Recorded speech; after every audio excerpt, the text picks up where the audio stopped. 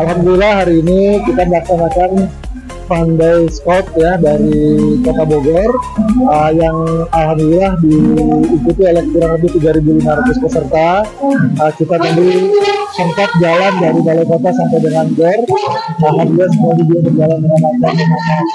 Uh, sekarang kita sedang melaksanakan kajian online.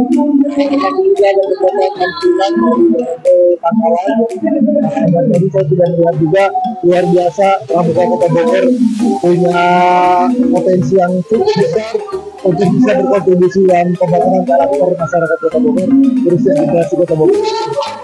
Jadi saya lanjutkan tentang terima kasih untuk yang sudah bekerja dan berbuat depan lebih meriah lagi dan meriah lagi.